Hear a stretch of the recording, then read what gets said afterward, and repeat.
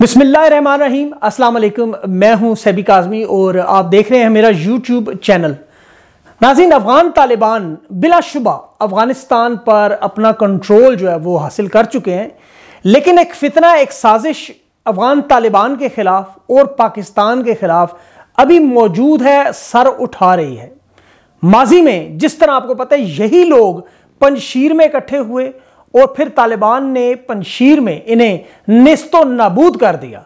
अब ये तमाम लोग एक नए अंदाज से एक नई गेम चलाने की कोशिश कर रहे हैं। मैं आपको बताता हूँ कि जलालाबाद को इन्होंने अब सेंटर अपना बना लिया और वहाँ से पाकिस्तान और अफगान तालिबान हुकूमत के खिलाफ हिंदुस्तान की मदद से बड़ी कार्रवाई करने के लिए इकट्ठे हो रहे हैं। लेकिन अभी अफगान तालिबान हुकूमत इन पर नज़र रखे हुए है और पाकिस्तान ने चीन के साथ मिलकर रूस के साथ मिलकर क्या स्ट्रैटेजी बनाई है, इनका सर कुचलने के लिए किस तरह तैयार बैठे हैं, उस पर मैं आपको तफसील से कल मैंने बताया कि एक ब्रिगेड तो बनी हुई है, लेकिन अब मजीद इस पर क्या काम होने जा रहा है, इस फितने के बारे में मैं आपको सारी तफसील से बताता हूँ कि किस तरह शुरू हुआ और इसके पीछे कौन लोग हैं। और अब अफगान तालिबान और पाकिस्तान इसे किस तरह टैकल करेंगे, क्योंकि यह मामला जो है दोनों के लिए एक तरफा तौर पर एक जैसा है।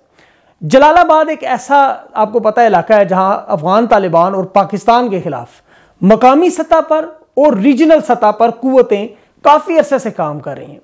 उनका एक बड़ा कमांडर जिसे बैरूनी मदद भी हमेशा रही और अंदरूनी लोकल लोग भी इसके साथ हैं। हज़रत अली इसका नाम है, इस कमांडर का। शमाली तहाद का एक सबक जंगजू, जलालाबाद का 2003 और 2004 में ये पुलिस चीफ भी रह चुका है। अब इसे ताजिकिस्तान शुमाली तहाद में और हिंदुस्तान की तरफ़ से, इसे मुकम्मल सपोर्ट की, हमायत की, इसे पूरी आशीर्वाद हासिल है। और माजी में आपको पता है, इसे रूस की तरफ़ से बड़ी हमायत मिलती थी, लेकिन अब चूँकि अफगान तालिबान हुकूमत के रूस से बड़े अच्छे ताल्लुक हैं और रूस ने फिर इन्हें, इनसे अपना हाथ उठा लिया है तो जलालाबाद के अलावा निंगरहार एक और सूबा है, जहाँ से ये शमाली इतिहाद मुखालिफ पाकिस्तान मुखालिफ बड़ा ग्रोह हर वक्त काम करता रहा। अब ये लोग इनकी जो थोड़ी बहुत बची कुछ ही तो ताकत रह चुकी है, उसे इकट्ठा करने में मसरूफ है और इन्होंने अपनी गेम का अंदाज भी थोड़ा बदला। पिछले पचास साल से, पाँच दिहाइयों से आप देखें कि ये लोग क्या काम कर रहे हैं। ये वही लोग हैं जो पाकिस्तान में भी, अफ़गानिस्तान के इलाके में, आपको पता है जो बॉर्डर के साथ इलाका है पश्तूनिस्तान कायम करने की कोशिश करते रही। अब इन लोगों की पूरी कोशिश है कि किसी तरह अफ़गानिस्तान में ये कौमियत का एक चक्कर चलाएँ।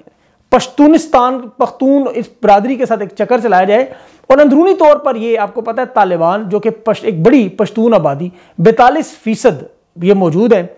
इनके अंदर इन्होंने पहले फूट डलवाने की कोशिश की। उसमें आपको पता है मुला बरदर और हकानी जो है, उनके दरमियान उन्हें अलग करने की बाकी लोगों से बड़ा प्रोपेगेंडा किया गया। बड़े वसी पैमाने पर खबरें चलाई गई। महल में लड़ाई होगी मुला ब्रदर नहीं नज़र आ रहे, बड़ा उन्होंने ड्रामा किया। लेकिन वो सारा बुरी तरह नाकाम हुआ। अब इनकी यह कोशिश है कि दूसरे पहलू से अब गेम करें। पश्तून मूवमेंट को खड़ा किया जा रहा है। पाकिस्तान में आपको पता है जो तुरखम बॉर्डर के रास्ते से जो अफगान लोग आते हैं, वो ज़्यादातर लोग जलालाबाद या निंगरहार से उनका तल्लुक होता है। अच्छा अब पाकिस्तान ने माजी में तो ब्रिटिश और सिस्टम करते रहे पाकिस्तान ने बायोमेट्रिक सिस्टम लगा दिया। अब ये लोग आ नहीं सकते, इनके लिए बड़ी मुश्किल पैदा हो गई हैं कि ये यहाँ दाखिल हो सकें और अपनी गेम करें। पहले ये माजी में हेलीकॉप्टर पर बैठकर चले जाया करते थे दूसरे अफगान सदर के घर। अब पंद्रह हज़ार कंटेनर पाकिस्तान ने लगाकर इन शरपसंद लोगों को रोका हुआ है। ये लोग मुकामी लोगों के अंदर नफरत पैदा करते थे कि जी पाकिस्तान हमें जुदा कर रहा है अफ़गानिस्तान का पश्तून बेल्ट और पाकिस्तान की पश्तून बेल्ट ये दोनों एक हो जाएँ एक मुल्क बना लें।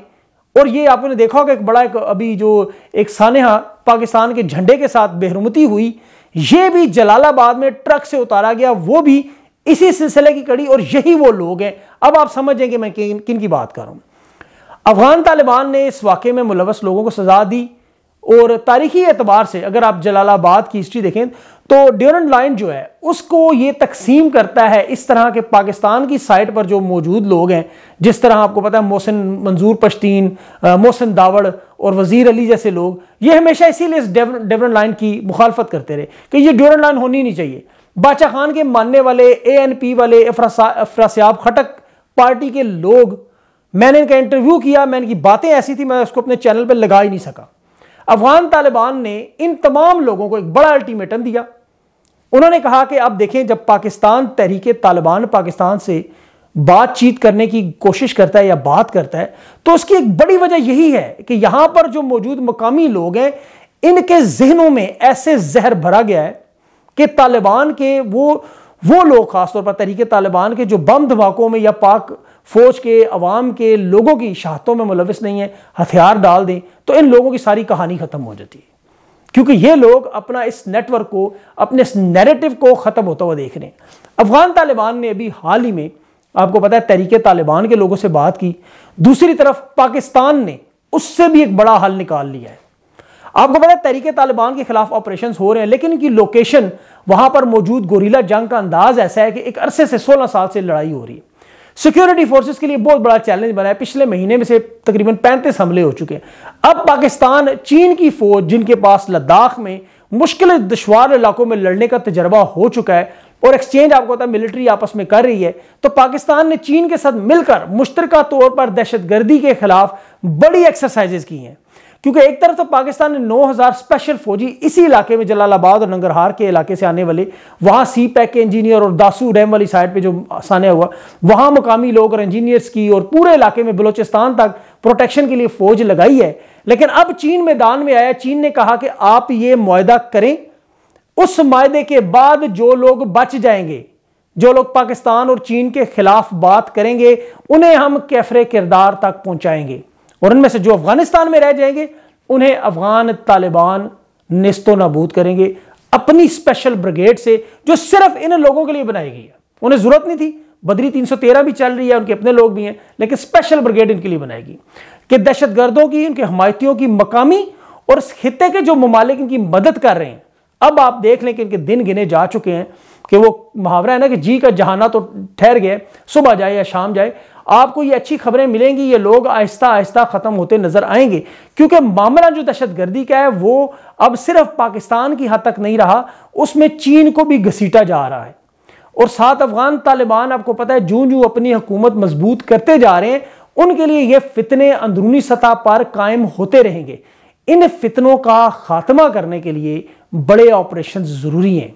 लेकिन उसके साथ साथ डायलॉग का रास्ता उन लोगों के लिए जो किसी किस्म की, आपको पता है, कत्लो गारत में मुलविस नहीं, जिन्होंने कभी भी पाकिस्तान के खिलाफ कोई ऐसा काम नहीं किया, उन्हें इन लोगों से अलहदा करना बहुत ज़रूरी है। ख़ास तौर पर मकामी सतह पर, क्योंकि आप जानते हैं कि ऑपरेशन जहाँ पर भी हो, वहाँ पर मकामी सतह पर लोगों के दिल और दिमाग ऑपरेशन करने वालों के खिलाफ हो जाते हैं। क्योंकि उनके घर बार तबाह हो जाते हैं, उनके माल मवेशी, उनके कारोबार, उनकी ज़रूरत ज़िंदगी सब कुछ दरम बरम हो जाती है।